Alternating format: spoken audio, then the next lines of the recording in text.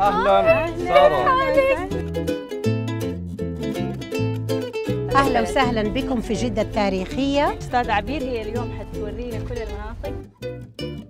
أقدم حاجة ممكن أوريكم هي اليوم. طيب إحنا كل مرة يكون عندنا ضيف لازم نسوي تحدي. استنوا أجيب لكم أصعب سؤال. طيب. أجيب لكم تحديات شوية تحمسكم أكثر. يلا.